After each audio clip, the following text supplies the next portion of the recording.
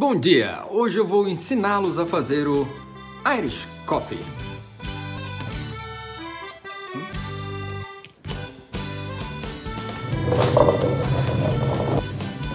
Hoje eu vou ensiná-los a fazer o Irish Coffee. Para isso, você vai precisar de café preto, o que você tiver em casa serve. Açúcar também, a gosto que você tiver em casa. Você também vai precisar de whisky e também você vai precisar de creme de leite, também a gosto que tiver em casa. Agora você adiciona o whisky,